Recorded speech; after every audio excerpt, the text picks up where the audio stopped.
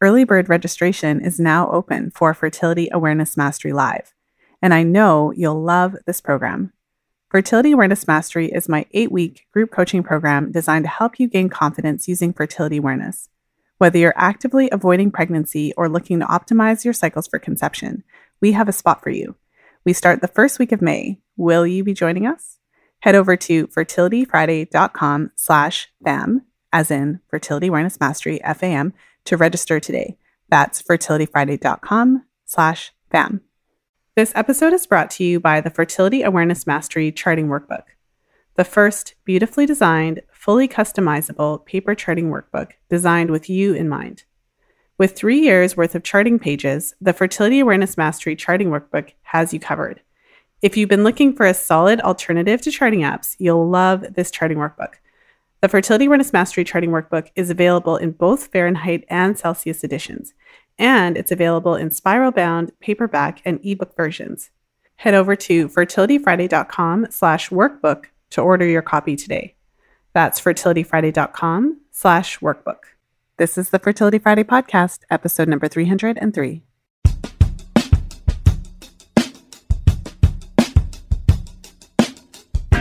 Welcome to the Fertility Friday podcast, your source for information about the fertility awareness method and all things fertility. I'm your host, Lisa Hendrickson Jack. I'm the author of The Fifth Vital Sign and the Fertility Awareness Mastery Charting Journal.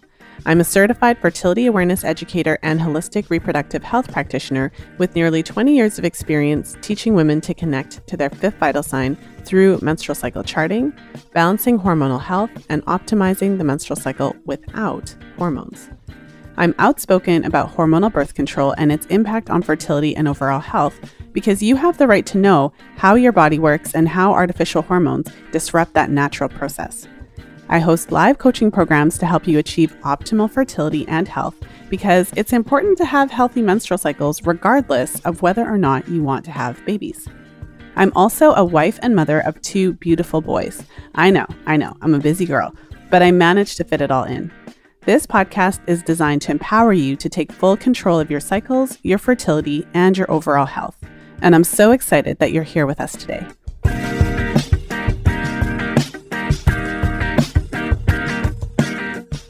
Today, I share my interview with Dr. Mary Lee Barron, and we talk all about the Marquette method and its applications, specifically in the postpartum period.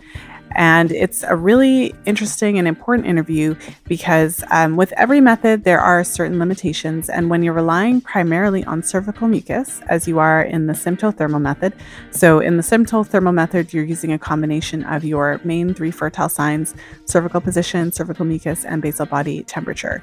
But for some women in the postpartum period, it's either not practical or not possible for them to actually rely on mucus. When they have more of an atypical mucus pattern, it can be challenging. And in those types of situations, you really have to look for a different way to be able to identify the fertile window. And so we will be diving into Marquette and how it differs from the symptothermal method in today's episode. So without further ado, let's jump into my interview with Dr. Barron.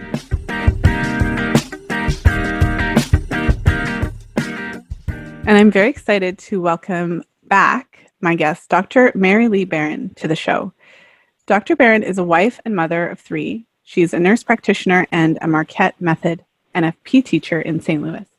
Dr. Barron received her PhD from St. Louis University, is an FNP, and an associate professor in the School of Nursing at the Southern Illinois University in Edwardsville. Additionally, she directs Marquette Fertility Education, offering direct patient care services and research in natural family planning. She has published over 20 peer reviewed journal articles, and she's authored numerous book chapters and co authored guidelines from the nurse practitioners in ambulatory obstetric settings, which has won an American Journal of Nursing Book of the Year award. Obviously, Dr. Barron has been very busy and she's very well experienced in the area of natural family planning slash fertility awareness. So I'm very excited. Welcome to the show, Dr. Barron. Thank you. I'm glad to be here. Well, I'm really thrilled to have you back to the show again. For the, the listeners who didn't hear our first episode, I'll make sure to link that episode in the show notes page. We were also talking about Marquette in the general sense. And the reason that I asked you to come back to the show was because I wanted to talk about the applications for Marquette when in, in a few different situations. So, one example would be when women are maybe not comfortable talk, checking their cervical fluid, or for whatever reason, it's just not working for them. And other situations when traditional mucus slash temperature, so symptothermal methods, don't actually work for them. And so when I reached out to you, I mentioned that I had a client who the mucus method couldn't work for during her postpartum period when she was breastfeeding. So, really excited to jump into all of that today. Okay. Well, and so for the listeners who perhaps haven't heard of Marquette before or they haven't listened to our previous episode, did you want to share a little bit about your background and what brought you to this point, really focusing on Marquette and the teaching that you do in this area? Okay. So I initially trained with Creighton Model. I did the double program as a teacher and a medical consultant back in 1998. And I did teach that for about five years, but I'm an early developer of the Marquette method. And that is because I wanted to offer more tools to women uh, and to couples to make natural family planning very user friendly. And so the idea behind the Marquette method it's uh, delivered only by healthcare professionals. We teach cervical mucus characteristics because mucus obviously is a key sign of fertility. We teach about hormonal monitoring technologies, which initially was the Clearblue fertility monitor, but in a, this length of time, of course, there are other tools available. I did recently did a study looking at the Wondfo LH sticks to see how they compared with performance to the clear blue, and I'll talk about that. And then we do teach basal body temperature. The idea behind Marquette is to empower women and couples to use what works for them. Then the other thing we do is we give them support. Our current ter- charting technologies are online or Excel files. Uh, we do have an app Traditionally, we meet with a couple if we're teaching them in person three to four times, and then as they need to be seen. We do have teachers around the country who teach by Skype or by phone, and then we have an online class uh, discussion boards taught by certified Marquette teachers out of Marquette Institute for Natural Family Planning, and there so there is a variety. There's no reason that somebody who's in a rural area couldn't access a marquette teacher. In fact there's a interactive map of teachers of marquette around the country now. Mm-hmm. well and you mentioned that you first trained in the creighton method. For the listeners who aren't familiar with that did you want to just share briefly what the creighton method is? And as you know i, I uh, teach the Justisse method, and the Justisse method mm-hmm. in many ways was derived from the Creighton method, but it adds in the mm-hmm. temperature. Mm-hmm. And so maybe you could just yeah. share about that and how Marquette differs. Okay, so um, the original ovulation method was Billings, and in 1976, the Creighton method was developed at the Pope Paul VI Institute in Creighton. At Creighton, well, it was associated with Creighton University as Dr. Hilgers uh, was on faculty there. They're independent of Creighton University. It's a mucus only method. Uh, what what the difference between Billings and Mar- and Creighton is is that he standardized the descriptors of the mucus with numbers and letters, and then changed the way you detect sensation, which is an external. But all, most of the other NFP methods uh, use an internal approach to what the woman is feeling. And Billings describes it by what she says, and then Marquette initially used a graphic representation of one through eight. That that was Marquette Model One, and some some people still use that, and it's the one in our early research. We developed simpler method of low, high, and peak for mucus observation so that is a way that we differ, but it is a way in common with other um, methods too. So it, patients find that very easy to determine their peak fertility with a simplified method. So mm-hmm. that's um, and then Marquette, of course, we offer the the clear blue monitor was compared in 1999 in a study with ultrasound detection of ovulation, which is the gold standard, and it was 100% accurate in that study. Hmm. So uh, as a teacher, do do the monitors always show you the peak? No, they don't. And the monitor company says that it's uh, about a 10% miss. We've been able to decrease that by very strictly teaching that you urinate into a cup and then dip the test stick into the urine. There's no quote urinating on the stick approach because you miss the peak more often when you do that. Hmm. Okay. Well, so as a practitioner of a symptothermal method, mm-hmm. I found that the vast majority of women, depending on where they are in their fertility journey or their reproductive life, mm-hmm. so um, mm-hmm. you know, the vast majority of the women who I work with end up being in a place where they're actually cycling. So pre-pregnancy, whether they're using the method for birth control or whether they're trying to conceive, they're typically cycling. Mm-hmm. Whereas a small percentage of my clients are in the postpartum stage and looking to organize that aspect of it. So when you're cycling normally and you're you, you've got a pretty stable pattern for women who are really keen and just jumping into to traditional fertility awareness methods, when you learn a more standardized way to monitor mucus, it, it, for most of my clients, the vast majority of my clients, learning a standardized way to identify yes. mucus and check for mucus and all of those things mm-hmm. really like it just makes mm-hmm. such a mm-hmm. huge difference with the marquette method then it adds in technology and a, you know a lot of my listeners have heard us talk over the years about different you know ovulation predictors and lh tests and apps that predict ovulation but the clear blue fertility monitor is just not in that league it's a completely different thing could you talk to us about what the Clear Blue monitor is, why it was initially developed, and, and how it differs from a lot of the technologies that we're, we hear more about. Okay, so the Clear Blue, so in your menstrual cycle, you have the rise of FSH, follicle stimulating hormone, which triggers the rise of estrogen. The rise of estrogen triggers the surge of luteinizing hormone, LH, which causes ovulation. And then when ovulation occurs, estrogen drops and progesterone goes up. Okay, so I teach my students FELP, FSH, estrogen, LH, progesterone. And that's the order the hormones need to be in to have regular cycling and an indication of ovulation. So, what the Clear Blue does, it is a urinary metabolite that it picks up for the rise of estrogen and the surge of LH. And that's how it differs from the typical LH strip that's sold on the market for the ovulation predictor kits. Okay. The, the LH strip tells you the surge of LH, but it doesn't give you the rise of estrogen. So the Clear Blue in the United States is marketed for achieving a pregnancy.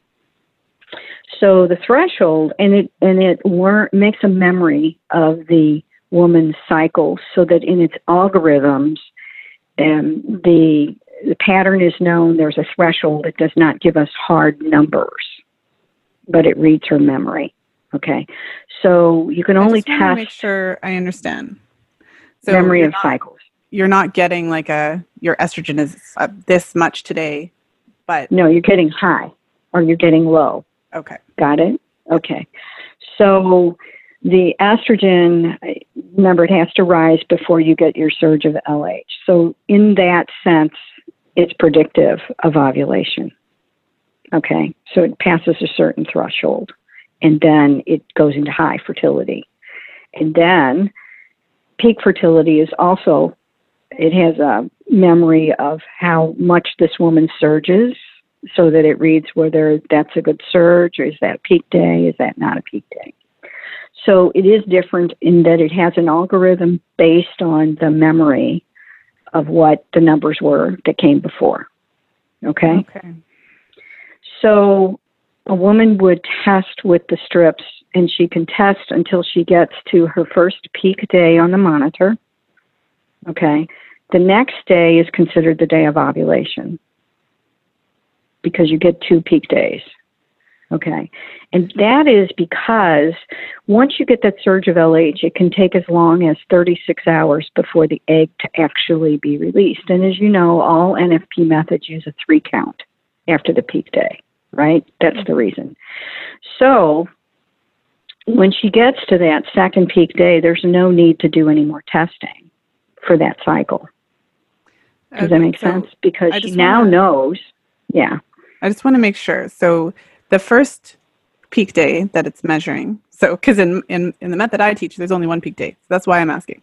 So the Mhm. first peak that it's identifying is that Mhm. the the estrogen peak, like when it the estrogen actually. No, that's the LH surge. Okay. So Estrogen gives you the highs. Okay. LH gives you the peak. Think of it that way. okay, and then what's the second peak? Well, they give you two peak days because it is likely that ovulation is more likely to occur on that second peak day than on the first peak day because you get this surge of LH, but it, you have this lag between the surge of LH and when ovulation actually happens. So And it can ha- and it can take as long as 36 hours for that to occur.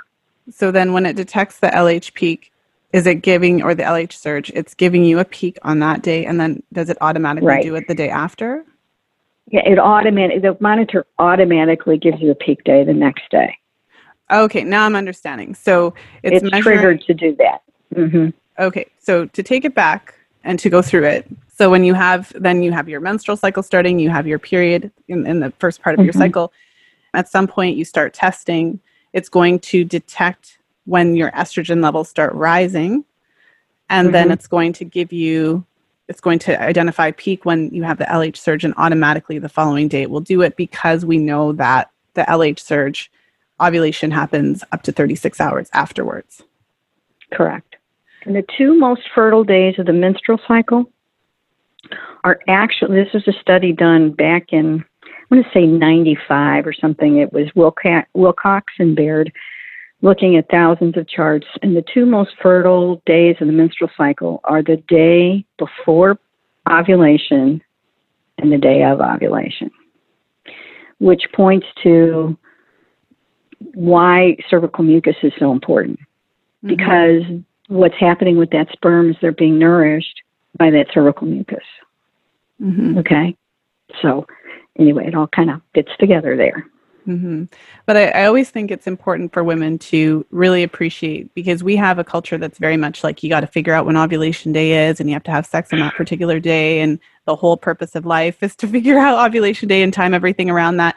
When we know that although there is, like, we can look at the percentages based on the research, based on how Mhm. frequently pregnancy occurs if sex happens five days before versus four days before four ver- Right. versus three. But what I always tell my clients is we, we don't want to consider your days of your your you know your mucus days in the pre-ovulatory phase more or less fertile because you can't be more or less pregnant you can, you can only be Yeah. pregnant or not right. but it is helpful to understand But if you're in the fertile window, is what I tell my patients. Fertile window is the length of the sperm survival, basically, right? yes Sperm live an average, it can live up to about five days. And so your fertile window is six days, the day of ovulation, and the five days previous. Does that make sense? Absolutely. And I mean, what I really appreciate about the, the Clear Blue Fertility Monitor and the Marquette method is that it's giving you this additional piece of information. So, the way I Mhm. look at the menstrual cycle, depending on when you're charting and when you really get a sense of your cervical fluid, your cervical fluid will, I, I would, I would imagine in many cases, would mirror what's happening in the Marquette, in the Clear Blue Fertility Monitor, because your cervical fluid is happening because of that estrogen. There's all of these, Right. and I think So, women, so it is true that it, it's nice if it would mirror, but there are women who are discordant, meaning that their cervical peak, uh, cervical mucus peak, is three or four days ahead of when the monitor says they're peaking. I've seen that, and I've seen it come afterwards, but more often, it, so we just describe that as discordant. So the thing is, is women shouldn't get themselves into an idea that they're in control because they're not. But this is something that the monitor, if there's that discordant peak, somebody's trying to conceive and they're off because their peak is actually later than they thought it was. It's a very helpful tool. And so presenting that to a healthcare provider, you know, the, the, I'm saying that the cervical mucus is a key sign, but it isn't always matching and and that tells us information that we need to have mm-hmm. if it's not. Okay. Well, let's talk about some of the, the the times or some of the situations. I mean, I'm I'm not sure that we would necessarily be able to cover every possible one, but um, we could talk about some of the situations where it doesn't match. I can share a few of the situations that I've seen, and I'm sure you've seen several different types of uh, situations simply because you're working with mm-hmm. the monitor. For example, I've noticed that when a certain percentage of women, so there's no all women ever, but a certain percentage of women who come off of hormonal birth control, it takes several months, often times, for them to actually start to see mucus. So there's a small percentage of women who come off hormonal birth control, and even though they're ovulating, they're not really producing. I've seen cycles where they're not producing any for the first few cycles. And I've also worked with a you know a number of women who either produce very little for several months mm-hmm. post pill or I've, I've had a number of clients who really don't start to see really good okay. mucus until so, after they've even had a baby. So let's talk about that because there was a now here's another research study. Uh, Gnoth, G N O T H, is the first physician, German. It was a very good study. They looked at post pill cycles, mm-hmm. and the average for the return to what, what you would expect a woman to be able to do was nine cycles. 90% of women were back to quote normal in nine cycles. 57% of women ovulate that first cycle off the pill, but their post peak phases, at least 30% were inadequate. So it's not a good idea to try to get pregnant on the first cycle off the pill. It really is a good idea to wait two or three cycles before a woman tries to get pregnant and that allows that cervix to to regenerate some. And because the birth control pill has progestin in it, not progesterone. And there's a lot of sloppiness out there in the literature when they should be describing progestin because that has a very different effect on a woman's body. And it thins out the endometrium so much so that it may not receive a fertilized egg. That's one of the mechanisms. So if 57% are ovulating first cycle, that suggests that some are ovulating on the pill, and the mechanism is by the endometrium being so thin that it can't receive that fertilized egg. So then, I would say as an NFP teacher, I tell people anticipate six cycles of being erratic before things really come together because that's what I've witnessed in the charts. So the clear blue monitor isn't recommended the first cycle off the pill. They even don't say, you know, they don't say don't use this. They say don't use this. And so after they've had that cycle off the pill, then they can start using the monitor and the monitor then is very reassuring. Okay, you did ovulate. Or if it reflects that you didn't, it the monitor is programmed it will only do 20 tests and then stops asking. And you can only test when it asks. So then the woman has to reprogram the monitor with the next cycle, depending on how long. Because some people go, they have a very long cycle before they actually do menstruate. Sometimes they need a help, there are help by giving them some progesterone to have them be able to menstruate again. Notice I said progesterone and not hmm. progestin. Okay. Yeah. So there should be that precision there. So you are you're seeing what I'm seeing, and the pill is very disruptive to the cervix and the mucus producing cells. Well, I really appreciate you taking us through that. The Gnoth study is one that I, I, I find myself quoting often because it's one of the unique studies that wasn't looking specifically at time to pregnancy. It was measuring right. the cycle parameters in detail. Yeah. And it allowed you to see the natural progression. So anyone who works in this field who is seeing the mm-hmm. charts of women mm-hmm. knows this information. We know that because well, you see it. Here's to the, have the study is very, very helpful. Here's the sad thing is is almost all the other artificial contraceptive methods never tell you about return to fertility. They don't. They don't look at it. They don't look at the effect on the cycles after you stop. Like there's a Hatcher writes a book about contraceptive technology, and there they talk about Depo-Provera, which I view as human pollution. I mean, it's a really harsh medication. I think and one that's like in what? terms of the, I would say I, I often describe it as the worst one, the worst yes. yeah. The, specifically as it relates to how it the delay in the return right. of your natural fertility. Right. So in there, Hatcher says that if the period hasn't returned in a year, the woman needs a workup. right. well, that's but, what, you got to lower your expectations because on average, right. they say it's it takes, two years. Exactly. Two years. Mm-hmm. And so I thought um, that this is sort of contrary to what it's really, uh, I think it's human pollution, personally. But anyway, so I think as NFP teachers, we recognize there are some things that are just more damaging than others. And so, anyway. Well, and so one of the challenges with a mucus method, let's say, obviously, I appreciate the distinction post pill, but one of the challenges is that for women who fall into that category, where they're not really seeing a normal, healthy cycle of cervical fluid. Like they're just not. So they might be seeing either very little, they might be seeing none. And it typically does resolve. I think women get really nervous when we talk, you talk about how the pill can affect this, this the cycle post pill. And I think it's helpful to note that most women do rebound fairly well. One of the, the challenges is that for a woman who's avoiding pregnancy and primarily relying on cervical mucus to help her to confirm the days that she's fertile, if there is an actual issue with her mucus production, whether it's related to pill stuff or whether it's related to a history of cervical surgeries for cervical mm-hmm. dysplasia or abnormal cells, it is possible to get pregnant in any cycle where ovulation occurs. That's right. So if you don't have mucus as the heads up, you you you know you need to work with somebody who can help you to figure that out. You have to be very conservative with your preovulatory phase, but the, enter the clear blue monitor as a way to test directly the hormones so that you have mm-hmm. a, another piece of information to help you confirm that fertile window. That's right. And the um, the other thing about cervical mucus being a key sign, if you're not having cervical mucus, that requires medical evaluation. Absolutely. It does because it could represent other disease states, and so we always have to remind women that it isn't just about you reading it; it's about making sure it's there. So, okay.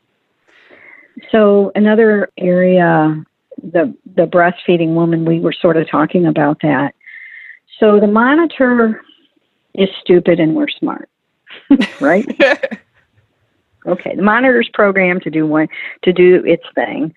So it's marketed to achieve a pregnancy. So when we have it when we're using it with breastfeeding women, what we're doing is artificially giving her a cycle for the monitor to read kind of thing so that we have this protocol for the women to use and how to use, how to test with the monitor during breastfeeding. And they really need the instruction and follow up with a teacher during that time because it isn't a straightforward thing. What some women do, unfortunately, is like I'll have women come to a Marquette model introductory session. Sometimes they'll go away thinking, oh, well, she told me about the method, I can just do it. And so, as you know, learning natural family planning with a teacher is far superior than to try to read a book and do it. And the way I tell people is it's experiential learning. The other kind of experiential learning we're familiar with is driving a car. You can't read a book and drive a car. And I certainly wouldn't get in a car with you unless you had driven with a coach.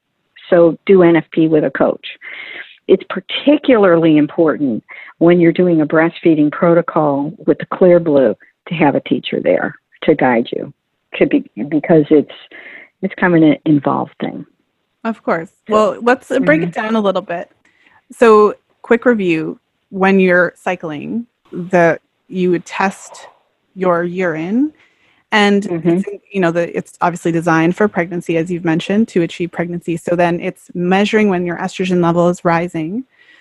So if you were trying to get pregnant, then obviously like you get that information, you have sex until you until you've ovulated. Um, but if right. you're trying to avoid pregnancy, can you share just before we? I want to transition into how this is used for breastfeeding, but I want to start just with an understanding of how it's used for birth control. And of course, we already talked about the the fertile window. So research tells us that sperm can live up to five days plus this, you know, mm-hmm. the day of ovulation. So therefore, we have a six day fertile window. Is does the Clear Blue fertility monitor is it giving us the information about estrogen so that that entire window is encased? So I think it, you understand. It is, yes, and it is predictive. So what we um, tell women the first day of high fertility on the monitor, they're abstaining. Right? They have they know their day's fertility in the morning. Okay. So they abstain from the first day of high fertility on the monitor through peak plus three. Okay, okay so you're you're taking your morning urine. So then at the beginning mm-hmm. of the day, you know if you're in your fertility right. or not. So the difference between that and doing a basal body temperature is that you do get this prediction, but also the monitor has a six hour window. So Lisa has to get up at six in the morning with her kids to get them off to school, and then everybody gets to sleep in on Saturday. So 6 a.m. comes along, and you do your first morning urine the first day that you use the monitor. The next day, you have between 3 a.m. and 9 a.m. to test. It's a six hour window. So you don't have this, have to do this the same time every day that you do with a thermometer. Well, and the I suppose the other big difference between basal body temperature and this approach is that the basal body temperature gives you no predictive information. It only correct. It's important. It's retrospective. It's retrospective. Mm-hmm. I think it's still important. I don't want to kind of bash no, the temperature because it doesn't. I get it. Because the temperature yeah. is very important. Because, for example, for women who only use LH strips to confirm, so the ovulation predictor kits, I've done an entire episode on that um, what's really important when you're trying to conceive is to time your your intercourse at the right time, mm-hmm. obviously, but also mm-hmm. to make sure that you don't stop too soon. You want to make sure to confirm ovulation. That brings me into a question, just a practical question for women who have multiple peaks, women who have PCOS. How does how do we use the Clearblue monitor for a woman who, for example, has cervical fluid a couple of times before she actually has her ovulation? Well, okay. So the the Clearblue is not recommended for somebody whose PCOS is not in control. And what, so what I found, they don't recommend it for women with PCOS because their LH is abnormally high. Okay. So they would always be peaking on the monitor. But once that woman is on metformin to treat the PCOS, and her cycles resume. And I don't know if you're uh, how the audience what they know about metformin, but it treats it's the woman with PCOS has insulin resistance. So the metformin drops those insulin levels, which allows the hormonal milieu to return to normal and she returns to cycling. Now, before we really understood that, when metformin came on the market, they had a side effect said you can get pregnant. Well, it's not the side effect, it's the main action of the drug because it lowers insulin. And so, taking metformin, usually in about three cycles or so, they can go ahead and use the monitor, just like anybody else would. Okay? But they're treating their disease when they do that. Well, and I'll just point out I've done a few episodes on PCOS. So, for anyone who's wants to learn more at fertilityfriday.com slash PCOS. And metformin mm-hmm. is one of the options, absolutely mm-hmm. uh, one mm-hmm. of the options in terms of sensitizing the drug to insulin or sensitizing your body to insulin. So right. that's interesting. I think that's important to know because one of the challenges, as much as I, uh, one of the challenges with technology in general, I think you said it already. You were like, the, the, the monitor is dumb and we're smart. And so in that situation, what it sounds like, and this is also been an interesting question in an unrelated way because a lot of women mm-hmm. misinterpret having multiple patches of cervical fluid or multiple positives on an ovulation predictor kit to mean that they're ovulating multiple times.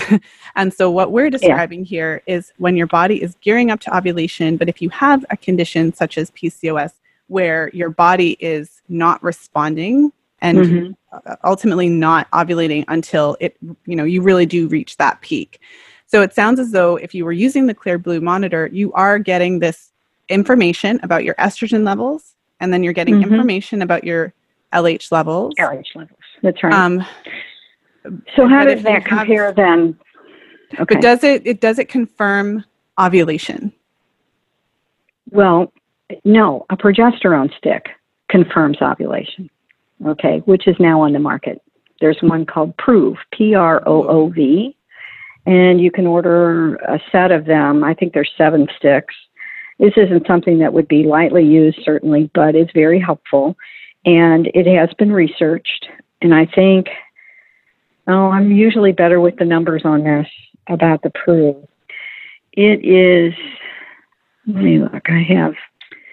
So it was developed by a young microbiologist and it correlates to a threshold of five nanograms of progesterone, which is a post ovulatory expected level at 10 to 12 in the blood eh, or the serum rather. And then it's it's really good with PCOS with luteal phase uh, deficiencies meaning inadequate post peak phases and then ovulation defects. And the rate the level that they used 82% of the women in this study had a confirmation of ovulation and so, um, and when we talk about that, we're talking about matching up with serum in that one. Of course, the the matching up with ovulation by detection with ultrasound is the gold standard, but of course that's very expensive and quite inconvenient. So this was a matchup with the serum, which has been around for a long time. So that's a new technology on the market. I do want to go back and say something about the LH strips, however because there's a lot of OPK kits out on the market, and I did a comparison of the Wondfo LH strip and the Clearblue. And the reason I chose the Wondfo is there was a study done by a Canadian, several Canadians actually, on what concentration threshold best predicts ovulation. And 25 was the level that was the best, matching up with the detection by ultrasound. And so the Wondfo is 25, the Clearblue is 25.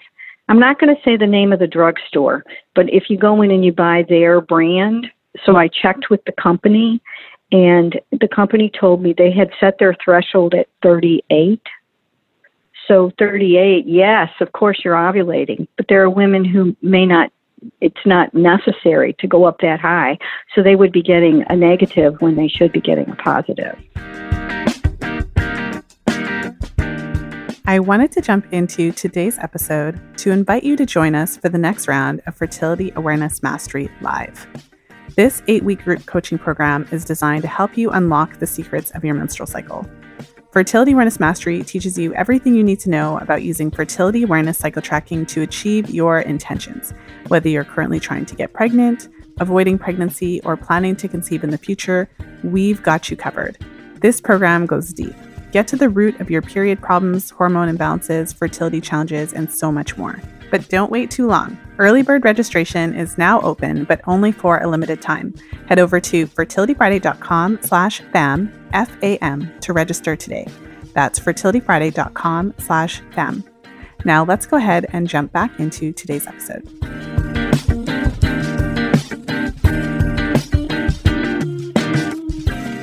Do you see the difference there? So, so knowing the brand is important. So with the LH strips, so this is an interesting piece of information. So what it's similar to what how you described the progesterone strip, it's measuring for a threshold level of luteinizing hormone. And so if you have one that is lower versus mm-hmm. higher, you could potentially be either getting like a false negative. Right. If your levels didn't hit that point. That high threshold. Really, yeah. Yes. I think and it's so really then, interesting to, to kind of learn how all of these things actually work, right? Because for most mm-hmm. people, buy it and use it as directed, you don't necessarily have those types of specific details about the product. Right. But as a researcher, of course, I have to be very interested, and then I can pass that information on to women, which is kind of why I'm doing this podcast anyway. so, well, of course. I know. wanted to go back to the so when I asked if the Clearblue Monitor confirms ovulation you mentioned because it's it's not testing for progesterone it's testing for estrogen and luteinizing hormone and you right. mentioned that one of the ways to test or to confirm ovulation would be the new strip that's coming out the Proov another mm-hmm. way would be to like run to your doctor's office and get them to do a blood draw obviously ultrasound is the the most accurate But I wanted yeah. to you just talk a little about uh, basal body temperature because I, you mentioned that with when you're mm-hmm. you know when mm-hmm. you're teaching Marquette, I think what you mentioned was that you're teaching to use the Clearblue monitor, and you also teach mucus, but you also teach BBT. We do, and remember what I said first was that we empower the couples to use what works for them. Yes. Right. So, okay, so the the information that I give couples about temperature Generally, the skin sensor type ones are not as accurate as an oral thermometer. Avoid ear thermometers because they can vary as much as one degree from ear to ear. So, which one do you believe? So, that goes for illness as well. Um, so, I tell them the one, you know, you can buy the $10 thermometer at a drugstore that's electronic, and then usually that's pretty reliable. You do want to use an oral. Now, there are women who vary, and if they're varying a lot, then I have them use a vaginal reading because sometimes that makes it more stable for them and more readable. Because I looked at this years ago and published an article about the problems with uh, BBTs. A lot of it was interpretation. There were erratic things in the chart, and there are there are couples who have difficulty with it. If you think of the couple with the young kids getting up in the middle of the night, can be disruptive to the BBT reading, illness, stress. There are things, a thyroid, if there's not a good rise, think about thyroid disorders, or if there's a very short luteal phase, the post peak phase, there are things that affect temperatures that way. It doesn't mean that they don't have a place. I don't want you to think I'm saying that. I'm not. They have more limitations than some of our other fertility tools. But getting a good thermometer is probably key to all of this. And then here's the other human factor it's the woman who takes the thermometer, she's sleepy, she looks at it and thinks, oh, I'll chart it later. And then later comes, and either she doesn't chart it or she can't remember it accurately. So there is a place for those thermometers that record it to an app or whatever. I wouldn't, I would say that technology is probably a good one, but some of those thermometers are prohibitively expensive. So you wait until they come down in price before you would seriously, because they have been researched. And there's a Lady-Comp and Baby-Comp, baby comp, but they were like five hundred dollars, which is a lot. That's that's a lot. The monitor costs 125 on Amazon, so that's a lot of money to pay for a, a technology like that when there's cheaper alternatives out there. Mm-hmm. Well, I think, I mean, with with anything, with any method, uh, there's always you'd say advantages and some challenges with everything. There's advantages mm-hmm. and challenges with checking your mucus, with with everything. And so I I really appreciate kind of going through just and especially when you're using technology the technology is there to gather a certain type of information. It's not there to mm-hmm. interpret that information. uh, right. And so you have it exactly correctly. yeah. And so the example of PCOS, meaning that women with PCOS are known to have um, rapid LH pulses, meaning they they produce mm-hmm. a lot more luteinizing hormones. So it's gathering information that you know mm-hmm. like, might give you a mm-hmm. peak all the time, but it doesn't mean that you're the one that has to interpret that information. So now that we have a sense of just the general way, okay, so the, the monitor is telling us basically when the fertile when we're entering into our fertile window. And then we have other ways to confirm that ovulation has happened. So then when we're in the postpartum phase, so going back to the breastfeeding question, when you are not cycling, so you've had a baby, you may be breastfeeding. Mm-hmm and you're basically, the way I share with my clients about it is that you're just having a really long pre ovulatory phase, and you just don't know in advance whether it's going to be four months, six months, eight months, or 12 months. So enter the Clearblue Fertility Monitor. Could you share with us just a general sense of how it is used, how it can be used in that phase, and how that would differ from the traditional way of, say, mucus, checking for mucus? Temperature is great, except that it doesn't tell you anything until you're actually until you've ovulated the first time. So the temperature is less useful, helpful during right. that postpartum phase. Okay, so um, we teach about lactational amenorrhea for, but American women don't really do what you need to do to to use that, which is you have to have a baby less than six months old, completely breastfeeding, no nothing but breast milk, and really using the breast for pacification and at that, with that six months menses haven't returned, then it's about 98% effective for avoiding pregnancy.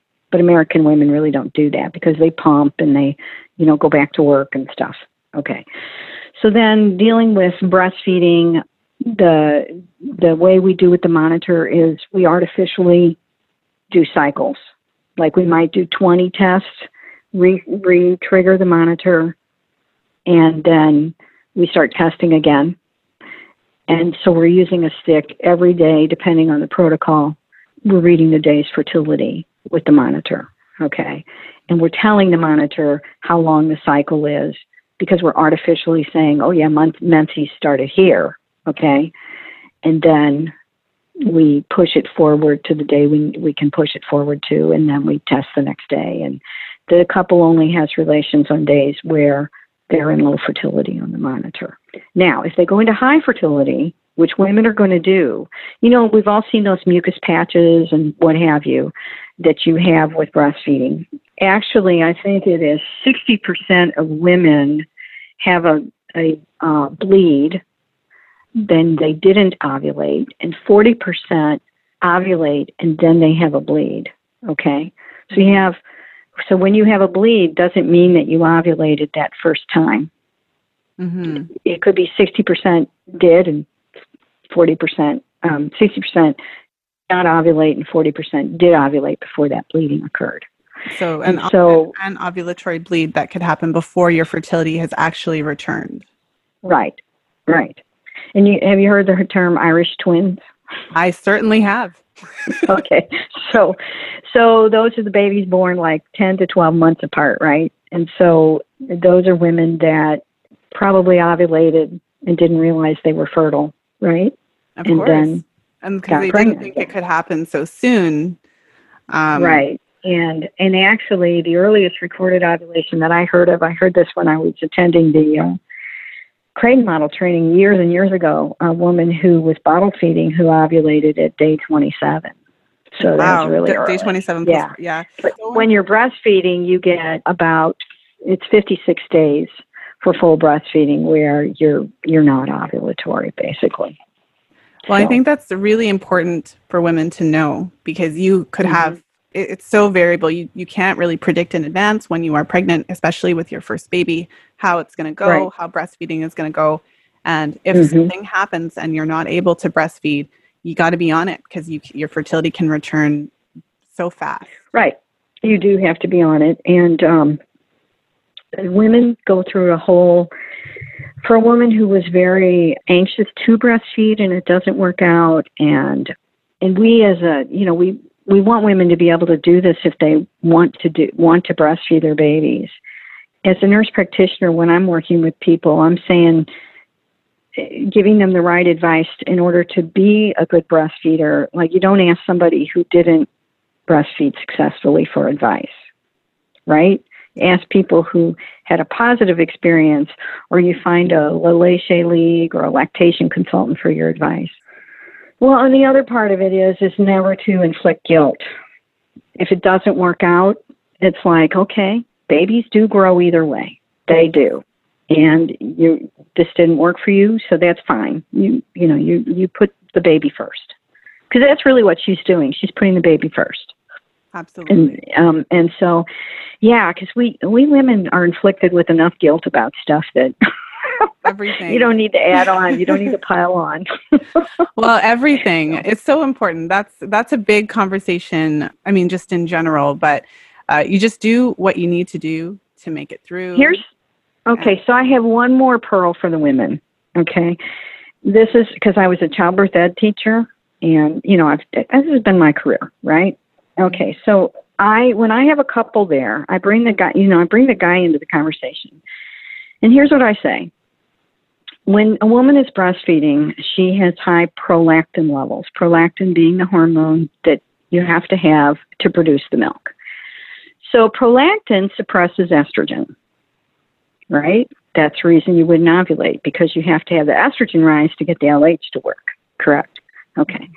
So when a woman's estrogen is suppressed, she could care less about having sex. It has nothing to do with Freud. She's not rejecting you. It's and you can get her interested, but you got to try harder. You have to be a little more romantic. You have to be a little more thoughtful, um, which doesn't mean bringing a rose home. It might be doing the dishes. Might be. you know, might be. Yes. Definitely is. So, yeah. So I'm saying this directly to the guys because I wanted to hear them to hear it from a healthcare professional. But women should know this. And there is emotionally, there's no closer time for a couple than when they've had a baby. It, you know, emotionally, you really are close. That doesn't always turn into physical activity for her, but she might be more receptive, kind of thing. So it's a matter of being thoughtful and knowing about the hormones, and it's nothing psychological. That's so important. I really appreciate you saying that because it's, mm-hmm. I think a lot of women who, of course, because we're supposed to do all of the things while in yeah. full outfits and makeup, and we're supposed to, you know, mm-hmm. look pretty all the time and whatever. So I'm sure there are women who don't have that drive for a period of time postpartum and feel guilty about that. So they shouldn't take take off yeah, the guilt t-shirt, right? and take it put off. on the deal with it t-shirt. Um, yeah. So I wanted to go back to the breastfeeding scenario just briefly. Mm-hmm. So then it sounds as though for a woman who is using a traditional mucus method, because really when you are postpartum, you can't do temperature right. if you're trying to avoid pregnancy because the, temp- the temperature will just tell you that you have ovulated. Um, That's right. Not That's right. Help. It's retrospective. so postpartum, we I think this is where a lot of women run into challenges. A lot of women use fertility awareness basically temperature only because a lot of women really struggle to understand mucus, potentially because they primarily learned from a book and because when you're cycling, it's different because you have ovulation, you have the cycle, and then it starts again. So a lot of mm-hmm. women mm-hmm. successfully manage their fertility, but are largely using basically temperature only, and they don't really use the preovulatory phase. So for the women who didn't really get a, a good grasp on mucus, then when you're thrown into the postpartum and it's basically mucus only, and you're now having to check for mucus daily, if you don't have at, at bare minimum, a very specific mucus categorization system and a specific way of checking for mucus so that you can be very clear on the difference between dry days and mucus days. How do you tell the difference between your arousal fluid if you get that when you're breastfeeding and not, and et cetera, mm-hmm. et cetera? What if you have continuous mucus? What if you had some cervical issues when you were giving birth? Blah, blah, blah. It just goes on and on. So if you don't have that additional to support to work that out, then a lot of women then are left with just what do I do? So what I appreciate then the Clearblue fertility monitor is it actually is testing for the hormones. So regardless right. of what's happening with your mucus, it is testing for the hormones. The hormone. Correct. So then are you and, and, what you mentioned was really interesting because again it sounds like the monitor is intended for a cycle and it's intended mm-hmm. um, you know to be used in that you know pre baby stage. So then what you mentioned is that you're programming it. So you're basically like tricking the machine because you're really just having yes. this really long month, several months long cycle. Right. So you're tricking right. the machine in whatever way you need to do, just so it will test the urine that day. So are you testing your urine every day? Pretty much. Okay. Pretty much. You are. Mm-hmm. It, there's uh, there are little tweaked variations on that protocol that we will work with uh, women on. So, and I don't really want to go into that because it's so individual. Yeah, and sometimes what we do is use the LH strip as a double check method. Um, there is a place for the LH strip here, and we can use it as a double check in most of the forms of the Marquette method. So, actually, I had one last question. The strips. I just um, it's a practical question for women who are like, okay, so the fertility monitor you mentioned it costs a hundred and something dollars. So the strips are those sold separately, and do you have to continue to purchase the strips? Yes, and yes. the there this is all available on Amazon. Isn't everything available on Amazon? Everything is. And there you get a package of 30 strips for $38, approximately $40, something like that. And um, if you're in cycles, that's going to last you three or four months. And they're about a dollar twenty to 25 per strip then. And so I tell people you're going to spend more on coffee every month than you will on your fertility. I mean, because we, we do spend. And then the other thing to know the LH strips, the Wondfo brand, that's the only brand I recommend.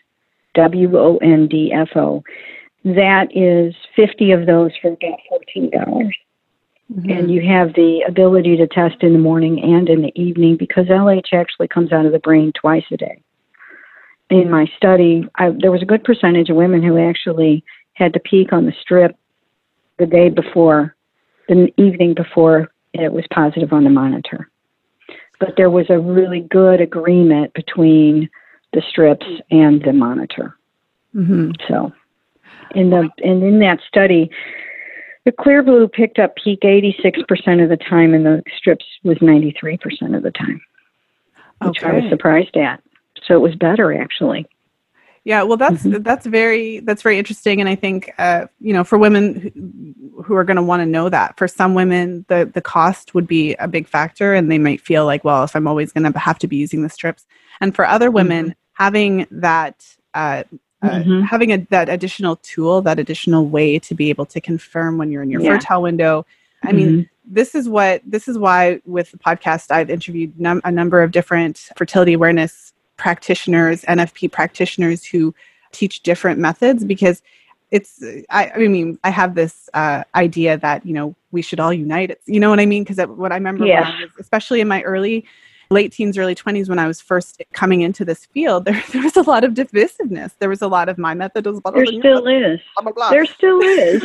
yeah, NFP wars. totally, completely. So, And it's ridiculous Yeah. because ultimately your client is going to choose which works best for them. And so it's helpful and for that's what to, you have to aim at. Yes. yes, it's helpful cli- for what us the to- client wants. to put our pitchforks down and to have a better Mhm. understanding about Mhm. you know all the different aspects of the different methods. That's right. That's what we should do. So, anyway. Uh, well, I've kept you long enough. Thank you so much for being here. Can you share with us where our listeners can go to find out more information about you and what you do? Well, my website is uh, Marquette Fertility Ed. It's M A R Q U E T T E fertility ed.com, marquettefertilityed.com. And it lists the teachers in the St. Louis area that in my email and stuff. And then the for Marquette nationwide, go to nfp.marquette.edu and it'll take you to the Institute of Natural Family Planning, Marquette style. And from there, you can find out if you have a local teacher or where they are. There's an interactive map. So, okay. Well, thank you for that. And you've published a number of studies. Um, if there are any particular studies you feel that our audience, you know, would be really appropriate for our listeners, I'd be happy to list the link to, say, the PubMed in the show notes page. So I'll just invite you to if there's anything in particular, but I'll make a point of listing a couple of your studies for additional reading information because I know a lot of my listeners are really wanting to dig into it. Well, the one I will send you the link. There's one called Finding the Fertile Phase, and it's in uh, Maternal Child Nursing Journal, and I'll send you a link for that. So, okay, perfect. Thank you so then, much. okay, Lisa, you take care now. Thank you for listening. If you enjoyed today's show, please share it with a friend. You'll find the show notes page for today's episode over at fertilityfriday.com slash 303. I hope that you enjoyed my interview with Dr. Barron. What a great opportunity to talk about the Marquette method and to really just expand our knowledge and understanding of different fertility awareness based methods. I think it's really interesting that this method utilizes the hormones specifically and has you measuring for the surge in estrogen that precedes ovulation. Because when you're using the symptothermal method, in a sense, your mucus is giving you that information about your hormones. So when you're cycling normally and your cycles are within normal range and you have healthy, normal cervical mucus production, then what you find is that your mucus actually does mirror what's happening hormonally. And with the Marquette method, it gives you an alternative when you are not able to rely on your mucus patterns. We covered a lot of the common myths in today's episode about postpartum charting. It is possible to successfully use fertility awareness based methods postpartum, but it's always important for you, especially if you if you've never charted before and this is your first foray into charting, Or if you have charted, but you primarily use the method for conception and you really weren't aware of the rules and you weren't comfortable with mucus, if any of those situations ring true, it's particularly important for you to seek support from a trained educator during the postpartum period of time so that you can become really confident, really understand how the method works, so that you can use it effectively to prevent pregnancy.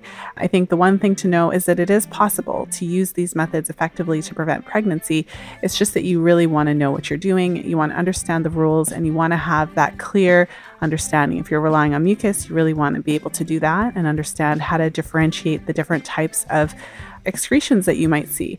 There's different types of cervical fluid. There's arousal fluid. There's semen. There's all kinds of different things that you need to know how to navigate when you're relying primarily on cervical fluid. And if you're not able to rely primarily on cervical fluid, then it's really helpful to know that Marquette offers an option where you are reading the hormones directly so you have a way to understand exactly what's happening in your cycle. And so we will be talking about the Marquette method in the Facebook group if you've ever used it before. If you have questions, the Fertility Friday community, we have so many members that I'm sure there are members in the group who have used Marquette and who can share their experiences. So join us in the Facebook group if you do have additional, you know, questions or if you want to talk a little bit more about this method and whether it could work for you. So that's fertilityfriday.com slash community. So we'll have a thread in there for today's episode. And just a reminder that early bird registration is open for Fertility Awareness Mastery Live. If you're listening in real time, early bird registration is open for about another week or so. So make sure to head over to fertilityfriday.com slash FAM, F-A-M, to register and join us in the next round of Fertility Awareness Mastery Live.